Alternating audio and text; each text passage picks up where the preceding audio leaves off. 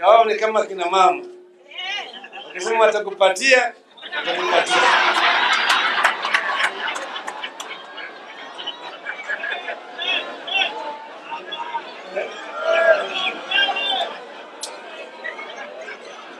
Ilikuwa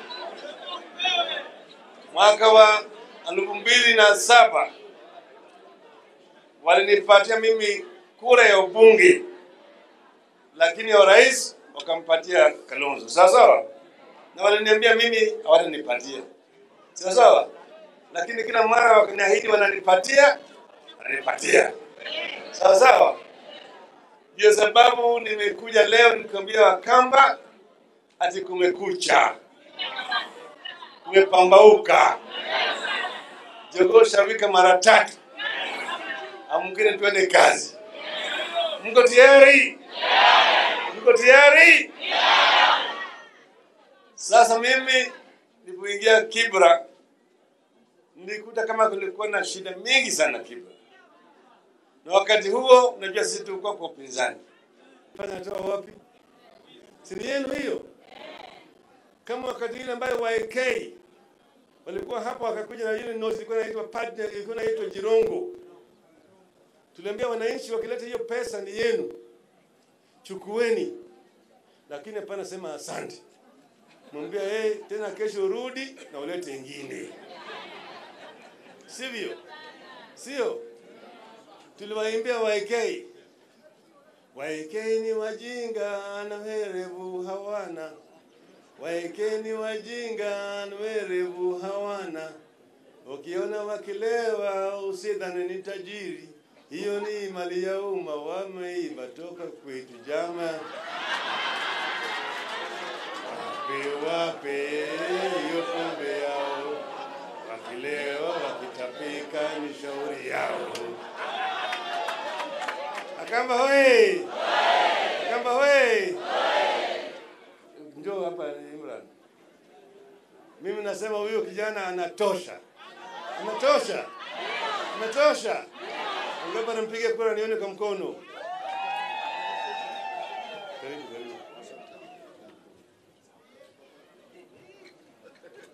uh, Right Honorable Prime Minister Raila Amolo Odinga, our two governors, Governor Mtua and Governor Ngilu, na wananchi wa Kibra, mjambo?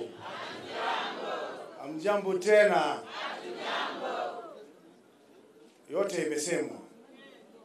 Kama wanakibra tuko na uchaguzi tarehe saba na jukumu yetu ni kwamba kupeleka Kibra mbele sote kiongozi hawezi enda mbele kama nyinyi mko nyuma yake. Sawa? Na mimi nimefurahi sana kuona Wakamba wote mko nyuma yangu. Na kuna jambo limezungumziwa hapa na the two excellencies. Nataka niwahakikishie the chair wa CDF is a Kamba. Yes. Sawa? So mko ndani ndani ya serikali ya Imran, si ndio? So mimi nataka tuende mbele tarehe saba asubuhi tujitokeze tupige kura kupeleka Kibra mbele. Nyinyi kina mama, wazee, vijana wetu, msisawishiwe na ile pesa ambayo tunapewa. Pesa chukua, lakini usiweke hapa kwa akili. Sawa? Nunua chakula kula, lakini ukifika pale kwa debe tarehe saba, fanya uamuzi bora, chagua kiongozi ambaye atajali maslahi yako. Sawa? Tuko na matatizo mengi kuanzia mambo ya wa masomo, watoto wetu wanataka mali nzuri ya kusomea. Sawa, tunataka mambo mingi, tunataka mabarabara, tunataka manyumba, na tunajua mheshimiwa party leader alianza kujenga manyumba pale. Kwa ajenda ya rais kuna mambo ya manyumba, tutashikana mikono tuangalie vile watu wetu wanaweza boreshewa makao. Sawa, hiyo ni ajenda ya kiongozi. Mtu anaishi pale ndiye anajua matatizo yenu. Saa hizi mvua inanyesha, hizo hizo manyumba zinavuja, si ndio? Mimi kama mwana Kibra najua matatizo yenu na nitatatua matatizo yenu. Sawa? Tarehe saba mwezi wa kumi na moja wangapi watasimama na mimi hapa? Na vile vile mimi nataka kuhakikishia hapa mbele hao viongozi, mimi nitawafanyia kazi bila ukabila, bila mapendeleo na bila ufisadi, kwa sababu ufisadi ufisadi ndio inatumaliza kama nchi, si ndio? Mimi ajenda yangu ni kuwafanyia kazi bila ufisadi. Nita- Nitaweka mbele kila mara kama wananchi wangu. Sawa? Asanteni sana, Mungu awabariki.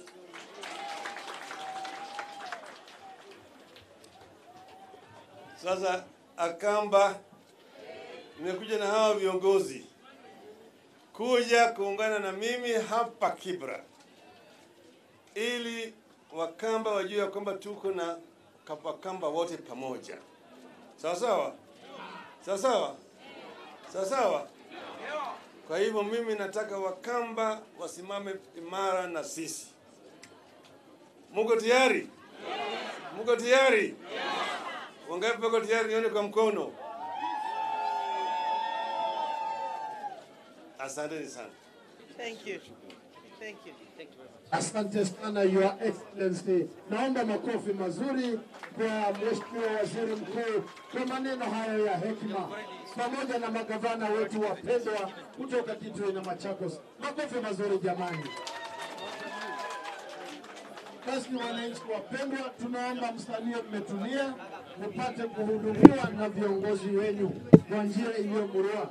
Waandishi wa habari, mnaombwa kuingia kwenye afisi ya mawasiliano katika afisi yetu hii ili tuendelee na ratiba nyingine. Naomba sasa njia